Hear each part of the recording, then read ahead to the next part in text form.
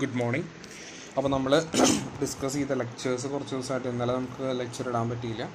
അപ്പോൾ അത് അതിന് കണ്ടിന്യൂവേഷനായിട്ട് അടുത്ത ലെക്ചറിലേക്ക് നമ്മൾ മൂവ് ചെയ്യുകയാണ് എയർ കണ്ടീഷൻ ബേസിക്സ് ഒന്ന് ജസ്റ്റ് ഒന്ന് കണ്ടുപോകാം കേട്ടോ ഒന്നും കൂടെ. ഓക്കെ റെഫ്രിജറേഷൻ എയർ കണ്ടീഷനിങ്ങിന്റെ ലാസ്റ്റ് ലെക്ചറാണ് ഇതോടുകൂടി നമ്മൾ ആ റെഫ്രിജറേഷൻ എയർ കണ്ടീഷൻ എന്ന ടോപ്പിക്ക് നമ്മൾ വൈൻഡപ്പ് ചെയ്യും. അപ്പോൾ നമ്മുടെ ബേസിക് റെഫ്രിജറേഷൻ എന്താണ്? ബേസിക് റെഫ്രിജറേഷൻ എന്ന് വെച്ചാൽ ഇത്രയേ ഉള്ളൂ. To maintain the temperature below surrounding condition അപ്പോൾ എന്താ ചെയ്യുന്നത് ഇതാണ് നമ്മൾ കാണുന്ന റെഫ്രിജറേറ്റർ ഇപ്പോൾ റെഫ്രിജറേറ്ററിനകത്ത് നമ്മൾ ചെയ്യുന്നത് ഇത്രയേ ഉള്ളൂ. എന്താ ചെയ്യുന്നത് ലോ ടെമ്പറേച്ചർ റിസർവർ താഴെ കാണാണ്ട് അവിടെ നിന്ന് ഹീറ്റ് റിമൂവ് ചെയ്ത് അവിടെ നിന്ന് അതാണ് നമ്മുടെ എന്തെന്നുള്ളത്. ഇപ്പോൾ നമ്മൾ ഉദാഹരണമാണ് റെഫ്രിജറേറ്റർ ആണ് നമ്മുടെ എന്തെന്നുള്ളത്. നമുക്ക് ഹീറ്റ് റിമൂവ് ചെയ്യേണ്ട പ്ലേസ് അവിടെ നിന്ന് ഹീറ്റ് റിമൂവ് ചെയ്ത് എവിടേക്ക് നമ്മൾ പുറത്ത് കളയുവാണ്? അറ്റ്മോസ്ഫിയറിലോട്ട് നമ്മൾ പുറത്ത് കളയാണ്. അറ്റ്മോസ്ഫിയർ ആണ് എന്തെന്നുള്ളത്? ഹൈ ടെമ്പറേച്ചർ റിസർവർ അപ്പോൾ നമ്മൾ എന്ത് കൊടുക്കുന്നു? എക്സ്റ്റേണൽ വർക്ക് കൊടുത്തിട്ടാണ് ഹീറ്റ് റിമൂവ് ചെയ്യുന്നത്. അതാണ് ഇതിനകത്ത് റെപ്രസെന്റ് ചെയ്തിട്ടുള്ളത്. നെക്സ്റ്റ് നമ്മൾ ടണ്ണേജ് ഓഫ് റെഫ്രിജറേഷൻ നമ്മൾ മുന്നേ ഡിസ്കസ് ചെയ്തതാണ് C O P of refrigerator അത് നമ്മൾ ഡിസ്കസ് ചെയ്തതാണ്. ഓക്കെ എങ്ങനെയാണ് റെഫ്രിജറേഷന്റെ വർക്കിംഗ് എന്നുള്ളത് നമ്മൾ ഡിസ്കസ് ചെയ്തിട്ടുള്ളതാണ്. ഓക്കെ അതുപോലെ തന്നെ വേപ്പർ കംപ്രഷൻ ഞാനൊരു പി പി ഡി ഉണ്ടാക്കിയിട്ടുണ്ടായിരുന്നു. അപ്പോൾ അത് ഷെയർ ചെയ്യാൻ കൂടിയിട്ടാണ് ചെയ്തത്. അപ്പോൾ ജസ്റ്റ് ഒന്ന് പറഞ്ഞു പോകാമെന്ന് വെച്ചു. നമ്മൾ ഡിസ്കസ് ചെയ്താണ് എന്താണ് വേപ്പർ കംപ്രഷൻ റെഫ്രിജറേഷൻ സിസ്റ്റത്തിന്റെ വർക്കിംഗ് മെയിൻലി നമുക്ക് എത്ര കോമ്പണൻസ് വരുന്നത് നാല് കോമ്പണൻസ് ആണ് വരുന്നത് ഒന്നിവിടെ കാണുന്നതാണ് compressor condenser expansion device and evaporator evaporator എന്ന് വെച്ചാൽ എന്തിനാണ് യൂസ് ചെയ്യുന്നത് എന്താ യൂസ് ചെയ്യുന്നത് low pressure low temperature liquid റെഫ്രിജറന്റിനെ നമ്മൾ എന്താക്കി മാറ്റുന്നു? ലോ പ്രഷർ ലോ ടെമ്പറേച്ചർ എന്താക്കി മാറ്റുന്നു? വേപ്പറാക്കി മാറ്റുന്നു. വേപ്പറാക്കി മാറ്റുന്നത് എങ്ങനെയാണ്? ഇവാപ്പറേറ്റർ എന്ന് വെച്ചാൽ നമ്മുടെ സ്പ്ലിറ്റ് സിയിലൊക്കെ നമ്മുടെ റൂമിലുണ്ടാവുന്ന പോർഷനാണ് ഇവാപ്പറേറ്റർ അപ്പോൾ അതെങ്ങനെയാണ് മാറ്റുന്നത് നമ്മുടെ ഇവിടെയുള്ള ഹീറ്റിനെ വലിച്ചെടുത്ത് അത് എന്താക്കി മാറ്റുന്നു ലിക്വിഡിനെ എന്താക്കി മാറ്റുന്നു വേപ്പറാക്കി മാറ്റുന്നു അപ്പോൾ നമുക്ക് എന്ത് കിട്ടി? അപ്പോൾ അതാണ് നമുക്ക് that is end of the evaporator ഇനി what will happen at the end of the compressor കംപ്രസറിനകത്ത് നമ്മൾ എന്താ ചെയ്യുന്നത് ഈ low pressure low temperature vapour refrigerate നമ്മൾ എന്ത് ചെയ്യുന്നു? കംപ്രസ് ചെയ്യുന്നു. കംപ്രസ് ചെയ്യുമ്പോൾ എന്തായിട്ട് മാറുന്നു? സൂപ്പർ ഹീറ്റഡ് അല്ലെങ്കിൽ ഹൈ പ്രഷർ ഹൈ ടെമ്പറേച്ചർ എന്തായിട്ട് മാറുന്നു? വേപ്പർ റെഫ്രിജറന്റ് ആയിട്ട് മാറുന്നു. അതാണ് വാട്ട് വിൽ അത് ദാറ്റ് വിൽ ഹാപ്പൻ ഇൻ എന്താണ്? കംപ്രസർ ഇനി എന്താ ഉണ്ടാവുന്നത് കണ്ടൻസറിനകത്ത് എന്താ ഉണ്ടാവുന്നത് high pressure high temperature high pressure high high temperature vapour റെഫ്രിജറന്റിന്റെ heat remove ചെയ്യുക എന്നുള്ളതാണ് എന്ത് നമ്മൾ ചെയ്യുന്നത് കണ്ടൻസർ ചെയ്യുന്നത് അതെങ്ങനെയാണ്? By latent ഹീറ്റാണ് by latent heat of condensation എന്ന് പറയുമ്പോൾ എന്താ ചെയ്യുന്നത്? ടെമ്പറേച്ചറിന് എന്തെങ്കിലും ചേഞ്ച് ഉണ്ടോ? ടെമ്പറേച്ചറിന് ചേഞ്ച് ഇല്ല. ഫേസ് എന്ത് ചെയ്യുന്നു? ചേഞ്ച് ചെയ്യുന്നു. ലാറ്റിൻ ഹീറ്റിനാണ് കൂടുതലും ഹീറ്റിനെ നമുക്ക് എന്ത് ചെയ്യാൻ പറ്റുക? റിമൂവ് ചെയ്യാനുള്ള കപ്പാസിറ്റി ഉണ്ടാവുക. ഓക്കെ നെക്സ്റ്റ് നമുക്ക് വരുന്നതാണ് എക്സ്പാൻഷൻ ഡിവൈസ് എക്സ്പാൻഷൻ ഡിവൈസ് എന്ന് വെച്ചാൽ ഇത്രയേ ഉള്ളൂ. ലോ പ്രഷർ ലോ ടെമ്പറേച്ചർ ആയിട്ടുള്ള ലിക്വിഡ് റെഫ്രി ഹൈ പ്രഷർ ഹൈ ടെമ്പറേച്ചർ ആയിട്ടുള്ള ലിക്വിഡ് റെഫ്രിജറന്റിന്റെ എന്ത് ചെയ്യുന്നു? ഫ്ലോ കൺട്രോൾ ചെയ്യുന്നു. ഫ്ലോ കൺട്രോൾ ചെയ്യുമ്പോൾ എന്ത് സംഭവിക്കും? What will happen pressure also reduces pressure reduce ചെയ്യുമ്പോൾ എന്ത് സംഭവിക്കും? Temperature also reduces so what will happen so at the at the output of the expansion valve that is low pressure low temperature എന്ത് കിട്ടും? Liquid refrigerant നമുക്ക് കിട്ടും. That is the common vapour compression refrigeration ഇനി നമ്മൾ അതിനകത്ത് use ചെയ്യുന്ന refrigerants ആണ് R one one R one two R twenty one R twenty two R five naught എന്നുള്ളത്. ഓക്കെ നമുക്കറിയാം റെഫ്രിജറന്റ് എന്തിനാണ് യൂസ് ചെയ്യുന്നത് റെഫ്രിജറന്റ് പ്രത്യേകത എന്താ? ബോയിലിംഗ് പോയിന്റും ഫ്രീസിംഗ് പോയിന്റും എന്തായിരിക്കും? ബോയിലിംഗ് പോയിന്റ് ഇപ്പോൾ നമ്മൾ സാധാരണ വാട്ടറിന് ഹൺഡ്രഡ് ആണെങ്കിൽ അതിനെത്രയായിരിക്കും ഒരു സിക്സ്റ്റി ആയിരിക്കും. ഓക്കെ അതുപോലെ തന്നെ ഫ്രീസിംഗ് പോയിന്റ് സീറോ ആണെങ്കിൽ അതിനെത്രയായിരിക്കും തേർട്ടി ആയിരിക്കും? തേർട്ടി ഡിഗ്രി ആയിരിക്കും. ഇതാണ് that is a main advantage of എന്താണത് air con that is refrigerator കേട്ടോ. പെട്ടെന്ന് ഫ്രീസ് ആവുകയും ചെയ്യും പെട്ടെന്ന് എന്താവും? ബോയിൽ ആവുകയും ചെയ്യും. ഓക്കെ ഇനി നമ്മൾ ഇതൊക്കെ ബേസിക്സ് ആയിട്ടുള്ള കുറച്ച് കാര്യങ്ങളാണ്. നമുക്ക് വേണ്ട കാര്യങ്ങളിലേക്ക് നമ്മൾ പോവുകയാണ് നമ്മൾ കഴിഞ്ഞ ദിവസം നമ്മൾ പഠിച്ചു. എന്താണ് സൈക്രോമെട്രി സൈക്രോമെട്രിക് പ്രോപ്പർട്ടീസ് എന്താണ്? അതിനകത്ത് സൈക്രോമെട്രിക് പ്രോപ്പർട്ടീസ് ഏതെങ്കിലും എന്തായാലും ഈ ക്വസ്റ്റ്യൻ എക്സാമിന് ഉണ്ടായിരിക്കും കേട്ടോ. ഒന്ന് രണ്ട് പ്രോപ്പർട്ടീസ് ഒക്കെ എടുത്ത് വയ്ക്കാനുള്ള ചാൻസ് ഉണ്ട്. ഇനി അത് കഴിഞ്ഞാൽ നമുക്ക് ഏറ്റവും ഇമ്പോർട്ടന്റ് ആയിട്ടുള്ള ഒരു പ്രോസസ്സ് നമുക്ക് അധികം ഒന്നും പ്രോസസ്സ് പഠിക്കേണ്ട. ഞാൻ കുറേ കാര്യങ്ങളൊക്കെ പറഞ്ഞുവെങ്കിലും നമുക്ക് ഇമ്പോർട്ടന്റ് ആയിട്ട് ഒരേ ഒരു പ്രോസസ്സ് മാത്രമാണ് നമുക്ക് പഠിക്കാനുള്ളൂ. ദറ്റ് ഈസ് എന്താണ്? Cooling and humidification cooling and humidification എന്താണ് ആ വേർഡിനകത്ത് തന്നെ മീൻ ചെയ്യുന്നത്? കൂളിംഗ് എന്ന് പറയുമ്പോൾ എന്താ മീൻ ചെയ്യുന്നത്? കൂളിംഗ് എന്ന് പറഞ്ഞാൽ ഇത്രയേ ഉള്ളൂ. എന്താണ്? ടെമ്പറേച്ചർ റെഡ്യൂസ് ചെയ്യുക. That means dry bulb temperature to reduce the dry bulb temperature അതാണ് ഇതിനകത്ത് ഉദ്ദേശിക്കുന്നത്? കൂളിങ്ങിനകത്ത് ഉദ്ദേശിക്കുന്നത്. Then what will what is എന്താണ്? ഹ്യൂമിഡിഫിക്കേഷൻ ഹ്യൂമിഡിഫിക്കേഷൻ എന്ന് വെച്ചാൽ ഇത്രയേ ഉള്ളൂ. That is addition of moisture addition of moisture addition of moisture നമുക്ക് എയറിനകത്ത് മോയ്സ്ചർ ആഡ് ചെയ്യും വേണം. ടെമ്പറേച്ചർ എന്ത് ചെയ്യും വേണം. റെഡ്യൂസ് ചെയ്യും വേണം. അതിനെയാണ് നമ്മൾ എന്ത് പറയുന്നത് that is a cooling and humidification എന്ന് പറയുന്നത് അപ്പോൾ എന്താണ് പ്രോസസ്സ് എന്നതാണ് നമ്മൾ എക്സ്പ്ലെയിൻ ചെയ്യാൻ പോകുന്നത്. അപ്പോൾ നമ്മൾ കാണുന്ന കോൺസെപ്റ്റ് ഇത്രയേ ഉള്ളൂ. ഇതാണ് നമ്മുടെ ഇതാണ് നമ്മുടെ കേസ് ഇപ്പോൾ നമുക്ക് ഇതിനകത്ത് വരുന്നത് ഇത്രയേ ഉള്ളൂ. നമ്മൾ ഇൻലെറ്റും ഔട്ട്ലെറ്റും നോക്കാം ഇതാണ് ടെമ്പറേച്ചർ കോയിൽ അപ്പോൾ ഇൻലെറ്റ് നമ്മൾ കാണുമ്പോൾ ഇവിടെ നിന്നാണ് എയർ ഉള്ളിലോട്ട് വരുന്നത്. ഓക്കെ നമുക്ക് ഒരു മിനിറ്റ് വൺ സെക്കൻഡ്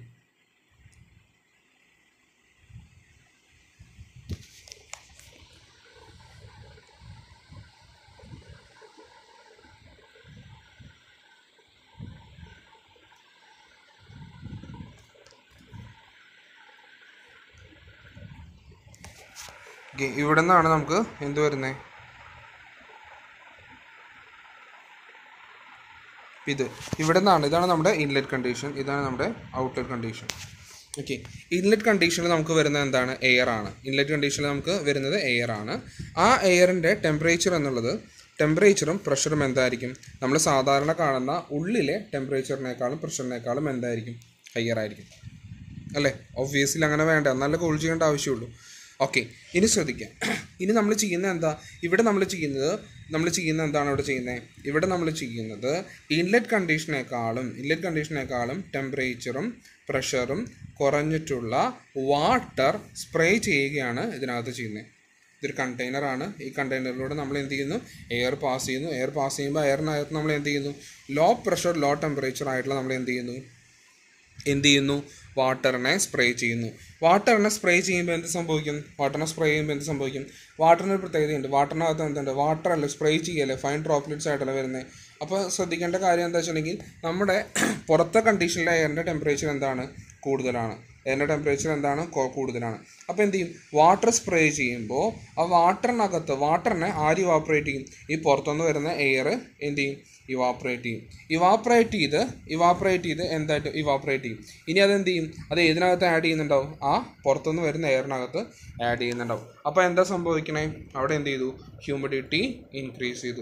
അവിടെ എന്ത് സംഭവിച്ചു? ഹ്യൂമിഡിറ്റി ഇൻക്രീസ് ചെയ്തു. ഇനി അറിയാം നമ്മൾ അപ്ലൈ ചെയ്യുന്ന എയറിനകത്തിന്റെ ടെമ്പറേച്ചർ നമ്മൾ സ്പ്രേ ചെയ്യുന്ന എയറിന്റെ ടെമ്പറേച്ചർ എന്താണ്?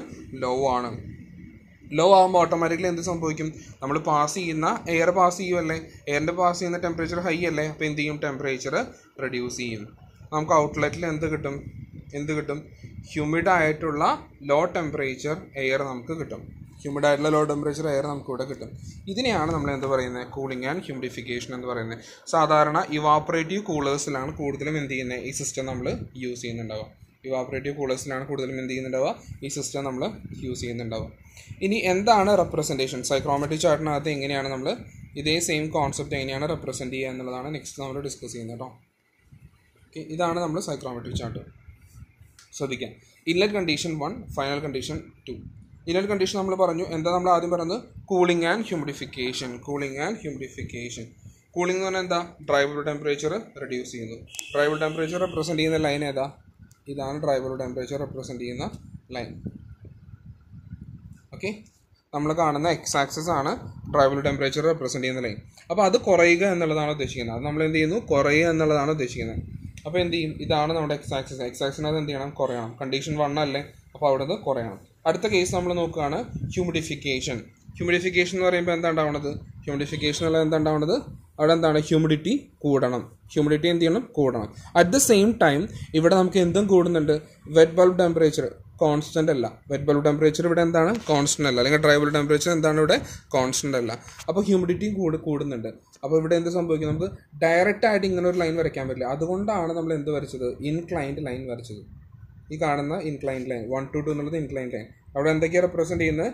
എന്തൊക്കെയാണ് റെപ്രസെന്റ് ചെയ്യുന്നത്? ഹ്യൂമിഡിറ്റി കൂടുന്നുണ്ട്. ഹ്യൂമിഡിറ്റി കൂടുന്നുണ്ട് ഡ്രൈവ് ടെമ്പറേച്ചർ കൂടുന്നുണ്ട്. രണ്ടും കൂടെ റെപ്രസെന്റ് ചെയ്യാൻ നമുക്ക് എങ്ങനെ പറ്റത്തുള്ളൂ? ഈ ഇൻക്ലൈൻഡ് ലൈനെ പറ്റത്തുള്ളൂ. ഇതിനെയാണ് നമ്മൾ എന്ത് പറയുക കൂളിംഗ് ആൻഡ് ഹ്യൂമിഡിഫിക്കേഷൻ എന്ന് പറയുക നിങ്ങൾ ഡീറ്റെയിൽ ആയിട്ടൊന്നും പഠിക്കണമെങ്കിലും ഇതൊന്ന് വരച്ച് ഇന്ന് ജസ്റ്റ് ഒന്ന് റെപ്രസെന്റ് ചെയ്ത് പഠിക്കുക ഇത് എക്സാം പോയിന്റ് ഓഫ് വ്യൂ ചോദിക്കുന്ന ഒരു സംഭവമാണ് കേട്ടോ. അപ്പോൾ എന്താ സംഭവിക്കുന്നത് ഔട്ട്ലൈറ്റ് നമുക്ക് എന്ത് കൂടും? വെറ്റ് ബൾബ് ടെമ്പറേച്ചർ കൂടും ഡ്യൂ പോയിന്റ് ടെമ്പറേച്ചറും കൂടും കേട്ടോ. ഇതാണ് കൂളിംഗ് ആൻഡ് ഹ്യൂമിഡിഫിക്കേഷൻ ഇത് വായിച്ചു പോകാം എല്ലാവരും കേട്ടോ. ഇനി നെക്സ്റ്റ് നമുക്കുള്ളത് വീണ്ടും നമ്മൾ ഒന്നുകൂടി ഡീപ്പായിട്ട് ഒന്നുകൂടി നമുക്ക് പോവാണ്. എന്താണ്? എയർ കണ്ടീഷനിങ്ങിലേക്ക് നമ്മൾ പോവാണ്. എന്താണ് എയർ കണ്ടീഷനിങ് എന്ന് വെച്ചാൽ എയർ കണ്ടീഷനിങ് മീൻസ് എന്താണ്? ടു മെയിന്റെയിൻ എന്താണ്? Properties of air to maintain properties of air എന്തൊക്കെ പ്രോപ്പർട്ടീസ് നമ്മൾ മെയിന്റെയിൻ ചെയ്യുന്നത് ടെമ്പറേച്ചർ ഉണ്ട് ഹ്യൂമിഡിറ്റി ഉണ്ട് എയർ പ്യൂരിറ്റി ഉണ്ട് എയർ മോഷൻ ഉണ്ട്. നമുക്ക് റെഫ്രിജറേഷൻ ആകുമ്പോൾ എന്ത് മാത്രമേ നമ്മൾ കൺട്രോൾ ചെയ്യുന്നുള്ളൂ? ടെമ്പറേച്ചർ മാത്രമാണ് നമ്മൾ കൺട്രോൾ ചെയ്യുന്നുള്ളൂ. അതാണ് അവിടെ നമ്മൾ റെഫ്രിജറേഷനും എയർ കണ്ടീഷനും തമ്മിലുള്ള ഡിഫറൻസ് കേട്ടോ. ഇനി ശ്രദ്ധിക്കുക. എന്താണ് principle of air condition principle of air condition എന്ന് വെച്ചാൽ ഇത്രയേ ഉള്ളൂ. എയർ കണ്ടീഷനിങ് റെഫ്രിജറേറ്റർ ഒക്കെ വർക്ക് ചെയ്യുന്ന സെയിം പ്രിൻസിപ്പിളാണ് എന്ന് വെച്ചാൽ ഇത്രയേ ഉള്ളൂ. നമ്മൾ പഠിച്ച വേപ്പർ കംപ്രഷൻ റെഫ്രിജറേഷൻ സിസ്റ്റം നമ്മൾ പഠിച്ചുല്ലോ നേരത്തെ. അതേ പ്രിൻസിപ്പിൾ വെച്ച് തന്നെയാണ് നമ്മൾ എന്ത് ചെയ്യുന്നത് കംപ്ര എയർ കണ്ടീഷണറും റെഫ്രിജറേറ്ററും ഒക്കെ വർക്ക് ചെയ്യുന്നത് കേട്ടോ.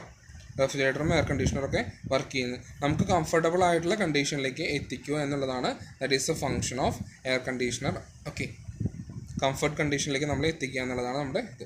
ഇപ്പോൾ ഇവിടെ നമ്മൾ കാണുന്നത് ഒരു വിൻഡോ എയർ കണ്ടീഷണറാണ് അപ്പോൾ വിൻഡോ എയർ കണ്ടീഷണർ നമ്മൾ പഠിക്കട്ടോ കേട്ടോ വിൻഡോ എയർ കണ്ടീഷണർ രണ്ട് പാർട്ടാണ് വരുന്നത് സെന്ററിൽ നമ്മൾ കാണുന്നൊരു വോളാണ് ഈ ഡോട്ടർ ലൈൻ കാണുന്നത് എന്താണ്?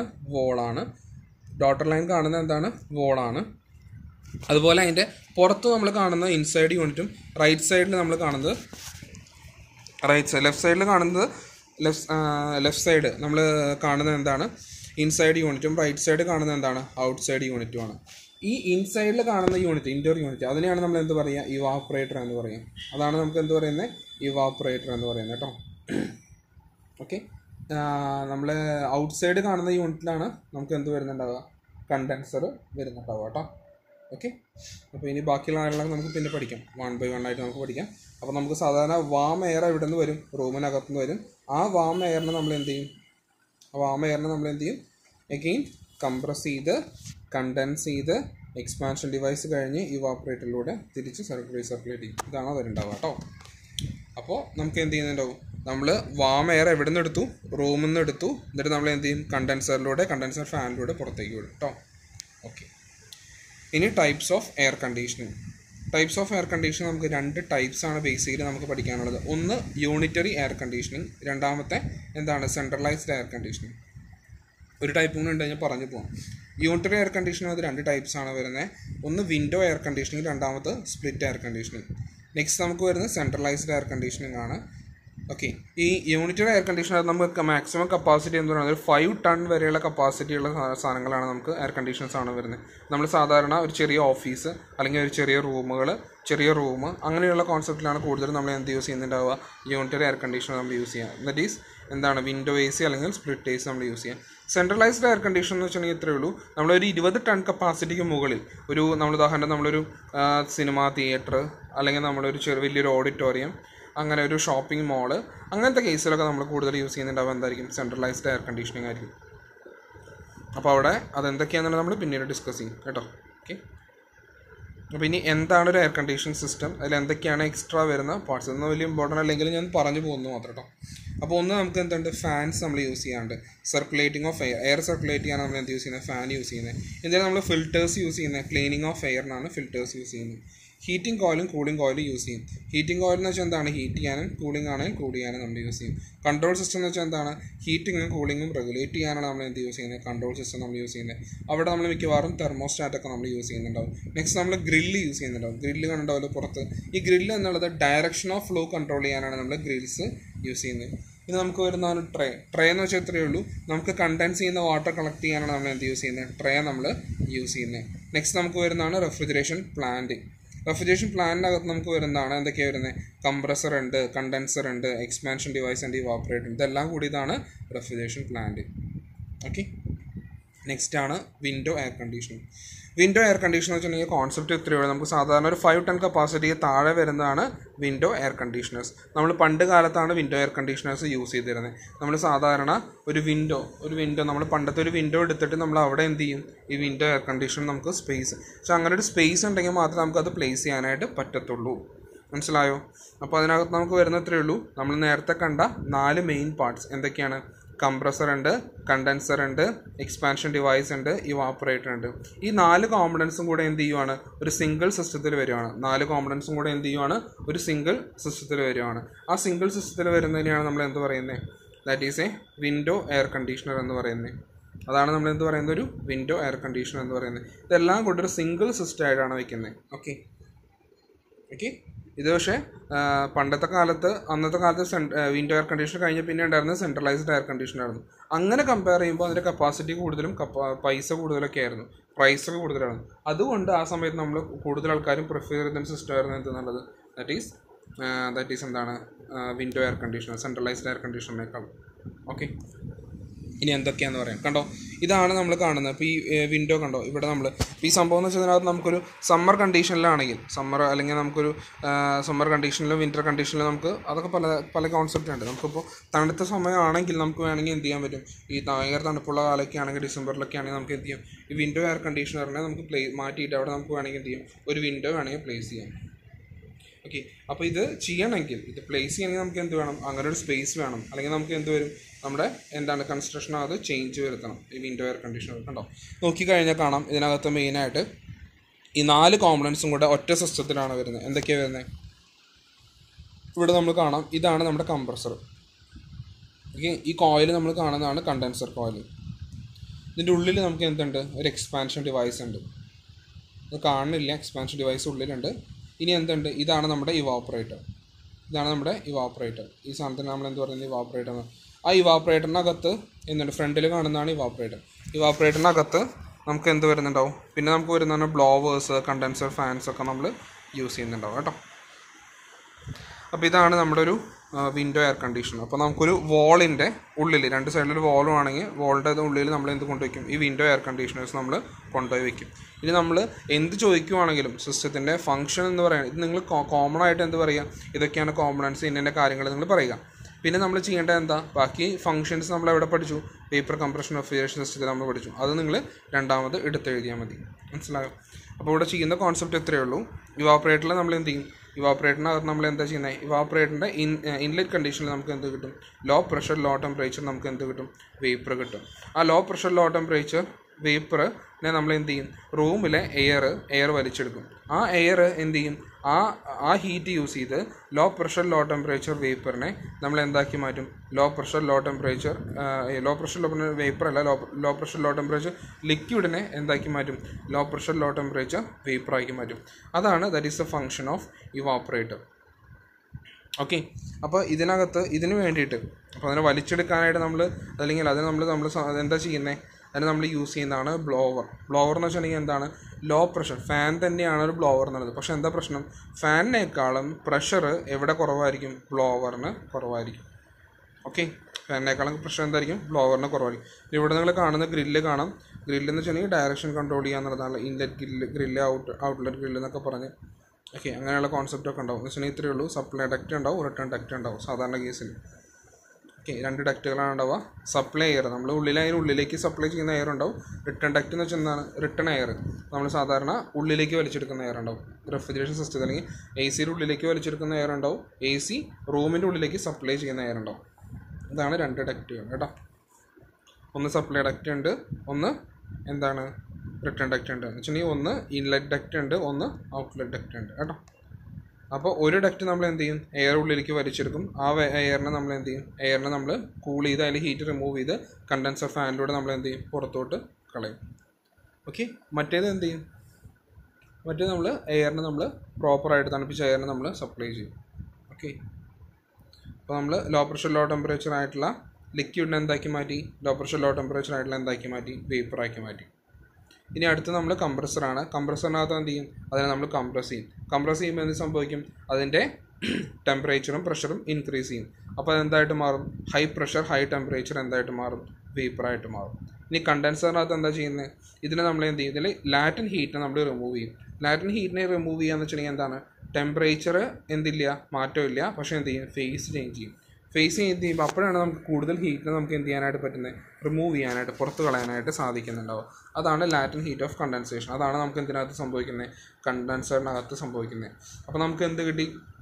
അപ്പോൾ നമുക്ക് എന്ത് കിട്ടി? ഹൈ പ്രഷർ ഹൈ ടെമ്പറേച്ചർ നമുക്ക് എന്ത് കിട്ടി? ലിക്വിഡിനെ നമുക്ക് കിട്ടി. ഇനി മനസ്സിലാക്കുക അതിന് നമ്മൾ എന്ത് ചെയ്തു? ഒരു എക്സ്പാൻഷൻ ഡിവൈസ് അല്ലെങ്കിൽ ഫ്ലോ കൺട്രോളിംഗ് ഡിവൈസിലൂടെ നമ്മൾ കടത്തി വിട്ടു അപ്പോൾ എന്ത് സംഭവിച്ചു? അതിന്റെ പ്രഷർ റെഡ്യൂസ് ചെയ്തു. പ്രഷർ റെഡ്യൂസ് ചെയ്തപ്പോൾ അതിന്റെ പ്രഷർ റെഡ്യൂസ് ചെയ്തപ്പോൾ എന്ത് കുറഞ്ഞു ടെമ്പറേച്ചറും കുറഞ്ഞു. അതാണ് നമുക്ക് കിട്ടുന്ന എക്സ്പാൻഷൻ ഡിവൈസിന്റെ ഔട്ട്ലെറ്റ് നമുക്ക് എന്ത് കിട്ടി? ലോ പ്രഷർ ലോ ടെമ്പറേച്ചർ നമുക്ക് എന്ത് കിട്ടി? വേപ്പർ കിട്ടി. ആ വേപ്പറിനെ നമ്മൾ എഗെയിൻ എന്തിലേക്ക് കടത്തും ആ വേപ്പറിനെ നമുക്ക് നമുക്ക് എന്ത് ചെയ്യാൻ പറ്റും? റൂമിലേക്ക് കടത്തി വിടാൻ പറ്റും. വേപ്പർ സോറി ലിക്വിഡിനെ ലിക്വിഡ് കിട്ടി. ആ ലിക്വിഡിനെ നമുക്ക് റൂമിലേക്ക് കടത്തി വിടാൻ പറ്റും. പറ്റത്തില്ല. അപ്പോൾ അതിനെന്താക്കി മാറ്റണം? വേപ്പറാക്കി മാറ്റണം. അതിനാണ് നമ്മൾ എന്ത് യൂസ് ചെയ്യുന്നത്? വാപ്പറേറ്റർ യൂസ് ചെയ്യുന്നത്. ഇതാണ് ഒരു എയർ കണ്ടീഷനിങ് സിസ്റ്റത്തിന്റെ വർക്കിംഗ് അപ്പോൾ ഇതാണ് നോർമലി എന്ത് വരുന്നുണ്ടാവും? ഒരു സിസ്റ്റത്തിനകത്ത് വരുന്ന കോമ്പണൻസ് നെക്സ്റ്റ് നമുക്ക് വരുന്നതാണ് സ്പ്ലിറ്റ് എയർ കണ്ടീഷണർ സ്പ്ലിറ്റ് എന്നുള്ള ടേമിനകത്ത് തന്നെ നമുക്ക് മനസ്സിലാക്കാൻ വരുന്നുണ്ടാവും എന്തുണ്ട്? അതിൽ രണ്ട് എന്തുണ്ട്? രണ്ട് മെയിൻ ആയിട്ടുള്ള ടേംസ് ഉണ്ട്. എന്തൊക്കെയാണ് വരുന്നത് ഒരു ഇൻഡോർ യൂണിറ്റും ഉണ്ട് ഒരു ഔട്ട്ഡോർ യൂണിറ്റും ഉണ്ട്. ഒരു ഇൻഡോർ യൂണിറ്റും ഉണ്ട് ഒരു ഔട്ട്ഡോർ യൂണിറ്റും ഉണ്ട്. രണ്ട് മെയിൻ പാർട്സ് ആണുള്ളത്. ശ്രദ്ധിക്കാം ഔട്ട്ഡോർ യൂണിറ്റിൽ നമ്മൾ ഫിറ്റ് ചെയ്യുന്നത്. ഔട്ട്ഡോർ ഔട്ട്ഡോർ എന്ന് വെച്ചാൽ എന്താണ്? ഫിറ്റ് ചെയ്യുന്നത് എന്താണ്? ഔട്ട്സൈഡ് ദ റൂമാണ് നമ്മൾ ഔട്ട്സൈഡ് ദ റൂമോ അല്ലെങ്കിൽ ഔട്ട്സൈഡ് ദ കോമ്പണന്റ് അല്ലെങ്കിൽ ഔട്ട്സൈഡ് ദ റൂം എങ്ങനെയാണെങ്കിൽ പുറത്താണ് നമ്മൾ എന്ത് ചെയ്യുക? ഫിക്സ് ചെയ്യുക. അപ്പോൾ അതിനകത്ത് വരുന്ന രണ്ട് കാര്യങ്ങളാണ് ഔട്ട്ഡോർ യൂണിറ്റിൽ നമുക്ക് മെയിനായിട്ട് വരുന്നുണ്ടാവുക. ഔട്ട്ഡോർ റൂമിൽ ഔട്ട്ഡോർ ഔട്ട്ഡോർ യൂണിറ്റിൽ നമുക്ക് വരുന്ന കോമ്പണൻസ് എന്തൊക്കെയാണ്? ഒന്ന് കംപ്രസർ വരും കണ്ടൻസർ വരുന്നുണ്ടാവും എക്സ്പാൻഷൻ ഡിവൈസ് വരുന്നുണ്ടാവും. കംപ്രസർ വരും കണ്ടൻസർ വരുന്നുണ്ടാവും എക്സ്പാൻഷൻ ഡിവൈസ് വരുന്നുണ്ടാവും. കംപ്രസർ നമ്മൾ ഉദാഹരണം ശ്രദ്ധിക്കുക. കണ്ടൻസറിന്റെ കൂടെ എന്തുണ്ടാവും? കണ്ടൻസർ ഫാനും കൂടെ അതിനകത്തുണ്ടാവും. ഇനി ഇൻഡോർ യൂണിറ്റ് എന്ന് വെച്ചാൽ എന്താ ഉണ്ടാവുക ഇൻഡോർ യൂണിറ്റ് എന്ന് വെച്ചിട്ടുണ്ടെങ്കിൽ നമുക്ക് വരുന്നത് ഇവാപ്പറേറ്റർ അല്ലെങ്കിൽ കൂളിംഗ് കോയിലാണ് ഇവാപ്പറേറ്റർ അല്ലെങ്കിൽ കൂളിംഗ് കോയിൽ അതിനൊപ്പം തന്നെ നമുക്ക് എന്ത് വരും? കൂളിംഗ് ഫാൻ അല്ലെങ്കിൽ ബ്ലോവർ വരുന്നുണ്ട്. ഓക്കെ ഓക്കെ ഇതിന്റെ പ്രത്യേകത എന്ന് വെച്ചാൽ നമ്മൾ വിൻഡോ എയർ കണ്ടീഷണർ പോലെ നമുക്ക് എന്ത് ഉണ്ടാക്കേണ്ട കാര്യമില്ല. ഒരു സ്ലോട്ട് ഉണ്ടാക്കേണ്ട കാര്യമില്ല. നമുക്ക് എവിടെ വേണമെങ്കിൽ പ്ലേസ് ചെയ്യാനായിട്ട് സാധിക്കും. നമ്മൾ ശരിക്കും പറഞ്ഞാൽ നമുക്ക് ഈ എക്സ്പാൻഷൻ നമ്മൾ സാധാരണ നമ്മൾ ഇതിനകത്ത് കൊടുക്കുന്നുണ്ടാവുക ഒരു കോപ്പർ ട്യൂബാണ് പോകുന്നുണ്ടാവുക ഏതിനകത്തുനിന്ന് ഈ നമ്മൾ ഇൻഡോർ യൂണിറ്റും ഔട്ട്ഡോർ യൂണിറ്റും കണക്ട് ചെയ്യാനായിട്ട് നമ്മൾ എന്താ യൂസ് ചെയ്യുന്നുണ്ടാവുക? കോപ്പർ ട്യൂബാണ് അത് വെൽ ഇൻസുലേറ്റഡ് ആയിരിക്കും. എന്ത് ഉണ്ടാവില്ല ഹീറ്റ് നമുക്ക് പുറത്ത് കളയുന്നുണ്ടാവില്ല. ഓക്കെ പിന്നെ ഇതെന്ന് വെച്ചിട്ടുണ്ടെങ്കിൽ നമുക്ക് ലുക്ക് കാണാൻ നല്ല വൃത്തി ഉണ്ടായിരിക്കും സ്പേസ് കുറവാണ് എഫിഷ്യന്റ് ആണ്. നമുക്ക് ഈ സൗണ്ട് നമുക്ക് സാധനം വിൻഡോ എയർ കണ്ടീഷനൊക്കെ യൂസ് ചെയ്യുമ്പോൾ ഭയങ്കര സൗണ്ട് ഉണ്ടായിരിക്കും റൂമിനകത്ത്. മറ്റേതാകുമ്പോൾ എന്താവും? അങ്ങനത്തെ പ്രശ്നങ്ങളൊന്നും ഉണ്ടാവില്ല. അപ്പോൾ നമ്മൾ കൂളിംഗ് എഫക്റ്റ് കൂടുതലായി കൂടുതലായിരിക്കും കമ്പയർ ചെയ്ത്. ഇതാണ് നമ്മൾ കാണുന്ന വിൻഡോ എയർ കണ്ടീഷണർ കണ്ടോ? അപ്പോൾ ഇവിടെ നമ്മൾ കാണുന്ന ഇതാണ് നമ്മുടെ ഈ വാപ്പറേറ്റർ അല്ലെങ്കിൽ അതിന്റെ കൂളിംഗ് കോയിലിന്റെ ഫാൻ നമുക്ക് വരുന്നുണ്ടാവുക ഇതിനകത്താണ്. ഇത് നമ്മുടെ വോൾ വോൾ നമ്മൾ കണക്ട് ചെയ്യാണ്ട് കോപ്പർ ട്യൂബ് വയ്ക്കുന്നുണ്ട് അതിന്റെ പുറത്ത് നമ്മൾ കാണുന്നതാണ് കണ്ടൻസർ യൂണിറ്റ് കണ്ടൻസർ യൂണിറ്റിനകത്ത് നമുക്ക് എന്തൊക്കെ വരുന്നുണ്ടാവും? കംപ്രസർ കണ്ടൻസർ പിന്നെ എന്ത് വരുന്നുണ്ടാവും? എക്സ്പാൻഷൻ ഡിവൈസും കൂടെ ശരിക്കും വരുന്നുണ്ടാവും കേട്ടോ. ഒരു ഡയഗ്രാം കൂടെ ഞാൻ ഇട്ട് തരാം. വേറെ നോക്കിയിട്ട് കേട്ടോ. ഇതാണ് നമ്മുടെ എന്ത് വരുന്നത്? നമ്മുടെ ദാറ്റ് ഈ സിസ്റ്റം ഏ സിസ്റ്റം വരുന്നത്? That is a split air condition system വരുന്നുണ്ടാവും കേട്ടോ. ഇനി നെക്സ്റ്റ് നമുക്കുള്ളതാണ് സെൻട്രലൈസ്ഡ് എയർ കണ്ടീഷൻ അപ്പോൾ സെൻട്രലൈസ്ഡ് എയർ കണ്ടീഷൻ എന്ന് വെച്ചിട്ടുണ്ടെങ്കിൽ നമ്മൾ സാധാരണ പറഞ്ഞു നമ്മളൊരു വലിയൊരു ബിൽഡിംഗ് മൊത്തം. ഒരു ഫൈവ് സ്റ്റോറി ബിൽഡിംഗ് മൊത്തം നമ്മൾ കൂൾ ചെയ്യുവാണ്. അല്ലെങ്കിൽ ഒരു ടെൻ തൗസൻഡ് സ്ക്വയർ ഫീറ്റ് ഉള്ള ഒരു ടെൻ തൗസൻഡ് സ്ക്വയർ ഫീറ്റിന് മേലെയുള്ള ഒരു ഓഡിറ്റോറിയം കൂടിയുമാണ് ഒരു വലിയൊരു സിനിമാ തിയേറ്റർ ഇത്രയും സ്പേസ് തന്നെ ഉള്ള ഒരു സിനിമാ തിയേറ്റർ നമ്മൾ കൂടിയത് അങ്ങനത്തെ കേസുകളിലാണ് കൂടുതൽ നമ്മൾ എന്ത് use ചെയ്യുന്നുണ്ടാവുക? That is centralized air condition system നമ്മൾ യൂസ് ചെയ്യുന്നുണ്ടാവും അല്ലെങ്കിൽ മോളുകൾ വലിയ ഷോപ്പിംഗ് മോൾ എയർപോർട്ടുകൾ ഹോട്ടൽസ് അങ്ങനെയുള്ള സ്ഥലത്താണ് കൂടുതലും എന്ത് യൂസ് ചെയ്യുന്നുണ്ടാവുക? സെൻട്രലൈസ്ഡ് എയർ കണ്ടീഷൻ സിസ്റ്റം നമ്മൾ യൂസ് ചെയ്യുന്നുണ്ടാവുക. വിൻഡോ അല്ലെങ്കിൽ സ്പ്ലിറ്റ് ടൈസ് നമ്മൾ കൂടുതൽ use ചെയ്യുന്നുണ്ടാവുക single room single single single room small ഓഫീസിലാണ് കൂടുതലും. സിംഗിൾ റൂം അല്ലെങ്കിൽ സ്മോൾ ഓഫീസിലാണ് നമ്മൾ കൂടുതൽ. അപ്പോൾ ഇതാണ് നമുക്ക് വരുന്ന സിസ്റ്റം വരുന്നുണ്ടാവുക. ഒരു ഹോൾ ബിൽഡിംഗ് നമ്മൾ കൂൾ കൂൾ ചെയ്യാനായിട്ട്. അങ്ങനത്തെ കേസിലൊക്കെ കൂടുതലും എക്കണോമിക്കലി നമുക്ക് എന്ത് യൂസ് ചെയ്യാൻ പറ്റില്ല? Window air conditioner split air കണ്ടീഷണറൊക്കെ use ചെയ്യാൻ പറ്റില്ല. അങ്ങനത്തെ കേസിൽ നമ്മൾ യൂസ് ചെയ്യുന്നതാണ് എന്ന് നല്ലത് സെൻട്രലൈസ്ഡ് എയർ കണ്ടീഷനിങ് യൂണിറ്റ് വെച്ചിട്ടുണ്ടെങ്കിൽ ഒരു സ്മോൾ യൂണിറ്റ് ഒരിക്കലും എന്താണ് സാറ്റിസ്ഫാക്ടറി ആവത്തില്ല. എയർ കണ്ടീഷനിങ് അപ്പോൾ നമ്മൾ യൂസ് ചെയ്യുന്നതാണ് സെൻട്രലൈസ്ഡ് എയർ കണ്ടീഷൻ സിസ്റ്റം അപ്പോൾ സെൻട്രലൈസ്ഡ് എയർ കണ്ടീഷൻ സിസ്റ്റത്തിൽ നമ്മൾ കൂൾ ചെയ്യുന്നുണ്ടാവുക. എന്തായിരിക്കും? ഒരു സിംഗിൾ എയർ കണ്ടീഷൻ സിസ്റ്റം അത് എവിടെയായിരിക്കും ഉണ്ടാവുക? പുറത്താണ് ഉണ്ടാവുക. പുറത്ത് എവിടെയെങ്കിലും ഉണ്ടാവുക. ഒന്നുമില്ലെങ്കിൽ നമുക്ക് പുറത്തായിരിക്കും. അല്ലെങ്കിൽ ഒരു ഒരു ഫൈവ് സ്റ്റോർ ബിൽഡിംഗ് ആണെങ്കിൽ ബിൽഡിങ്ങിന്റെ ഏറ്റവും ടോപ്പിലായിരിക്കും നമ്മൾ പ്ലേസ് ചെയ്യുന്നുണ്ടാവുക. ഇനി നമ്മൾ സാധാരണ കോൾഡ് എയർ നമ്മൾ സപ്ലൈ ചെയ്യുന്നത് എങ്ങനെയായിരിക്കും? ഡക്റ്റിംഗ് വഴിയായിരിക്കും നമ്മൾ സപ്ലൈ ചെയ്യുന്നുണ്ടാവുക ഡക്റ്റ് വഴിയാണ് കോൾഡ് എയറിന് നമ്മൾ സപ്ലൈ ചെയ്യുക. ആ കോൾഡ് എയർ നമ്മൾ ഓരോരോ റൂമിലേക്ക് നമ്മൾ സെപ്പറേറ്റ്ലി നമ്മൾ എന്ത് ചെയ്യും? സപ്ലൈ ചെയ്യും. അതാണ് സിസ്റ്റം വരുന്നുണ്ടാവുക. മനസ്സിലായോ? അപ്പോൾ ഇതാണ് നമുക്ക് സാധാരണ സെൻട്രലൈസ്ഡ് എയർ കണ്ടീഷനിങ് സിസ്റ്റം ഇനി സെൻട്രലൈസ്ഡ് എയർ കണ്ടീഷനിങ് സിസ്റ്റത്തിൽ നമുക്ക് കോമ്പണൻസ് ഒക്കെ വരുന്നുണ്ട്. അത്ര ഡീറ്റെയിൽ ആയിട്ട് പോകേണ്ട കാര്യമില്ല. നമ്മൾ സാധാരണ നമ്മൾ യൂസ് ചെയ്യുന്നുണ്ടാവുക ഒരു ചില്ലർ യൂണിറ്റ് ഉണ്ടാവും. അത് പല ടൈപ്പ് ഉണ്ട് നമുക്ക്. വേരിയബിൾ വി ആർ വി എന്നൊക്കെ പല പല ടൈപ്പ് ഉണ്ട്. എയർ ഹാൻഡ്ലിംഗ് യൂണിറ്റ് ഉണ്ടാവും കൂളിംഗ് ടവേഴ്സ് ഉണ്ടാവും. എയർ ഹാൻഡ്ലിംഗ് യൂണിറ്റ് ഉണ്ടാവും കൂളിംഗ് ടവേഴ്സ് ഉണ്ടാവും ചില്ലർ യൂണിറ്റ് ഉണ്ടാവും. ഇത്രയാണ് മെയിനായിട്ട് വരുന്നുണ്ടാവുക. പിന്നെ നമ്മൾ ഡക്റ്റിംഗ് യൂസ് ചെയ്തിട്ടാണ് നമ്മൾ എന്ത് ചെയ്യുന്നുണ്ടാവുക? കോൾഡ് എയറിനെ നമ്മൾ സപ്ലൈ ചെയ്യുന്നുണ്ടാവും ഓക്കെ അപ്പോൾ ഇത്രയും കോൺസെപ്റ്റാണ് നമുക്ക് ഇതിനകത്ത് വരുന്നത് പാക്കേജ് എയർ കണ്ടീഷൻ നമുക്ക് പഠിക്കാനില്ല. ഈ രണ്ട് ടൈപ്പ് എയർ കണ്ടീഷണർ നമ്മൾ സാധാരണ യൂണിറ്ററിൽ അത് യൂസ് ചെയ്യുന്ന വിൻഡോ അല്ലെങ്കിൽ സ്പ്ലിറ്റ് എ സി അല്ലെങ്കിൽ അടുത്ത നമ്മൾ യൂസ് ചെയ്യുന്ന സെൻട്രലൈസ്ഡ് എയർ കണ്ടീഷൻ ഈ രണ്ടിന് ഇടയ്ക്ക് വരുന്ന കപ്പാസിറ്റിയുള്ള that is five ടണ്ണിനും three ton five ton seven ton കപ്പാസിറ്റിയിലാണ് നമുക്ക് എന്ത് വരുന്നുണ്ടാവുക? പാക്കേജ് എയർ കണ്ടീഷണർ വരുന്നുണ്ടാവുക ഒറ്റൊരു ചെറിയ എയർ കണ്ടീഷണർ ആ എയർ കണ്ടീഷണർ സിംഗിൾ കപ്പാസിറ്റി ഉണ്ടാവും. അത് നമ്മൾ എവിടെയെങ്കിലും കൂടിയാനായിട്ട് പ്ലേസ് ചെയ്യും. അതിനെയാണ് നമ്മൾ എന്ത് പറയുക പാക്കേജ് എയർ കണ്ടീഷണർ പറയുക അപ്പോൾ ഇതൊക്കെയാണ് നമുക്ക് മെയിൻ കോമ്പണൻസ് ഒക്കെ എല്ലാറ്റിലും സെയിം തന്നെയാണ്. ഏത് സിസ്റ്റം എടുത്താലും കോമ്പണൻസ് ഒക്കെ എന്താ വരുന്നത് സെയിം സിസ്റ്റം ഒക്കെ സെയിം തന്നെയാണ്. ജസ്റ്റ് ഇതൊക്കെ നമ്മൾ പറഞ്ഞു പോകുന്നത് മാത്രം കേട്ടോ ഇത് നമ്മൾ നേരത്തെ കണ്ട ദാറ്റ് ഈസ് എ യൂണിറ്റ് കേട്ടോ ഇതാണ് നമ്മുടെ കോമ്പണൻസ് കംപ്രസർ കണ്ടൻസർ കാണാം എക്സ്പാൻഷൻ ഡിവൈസ് ഇവാപ്പറേറ്റർ ഓക്കെ അപ്പോൾ ഇതോട് കൂടിയിട്ട് ഇതാണ് നമ്മുടെ refrigerants R eleven twenty two okay അപ്പോൾ ഇതോട് കൂടിയിട്ട് നമ്മൾ ഇത് ക്ലാസ് വൈൻഡപ്പ് ചെയ്യാണ് കേട്ടോ ഇതോട് കൂടി നമ്മൾ ഈ പോർഷൻ വൈൻഡപ്പ് ചെയ്തു കേട്ടോ താങ്ക് യു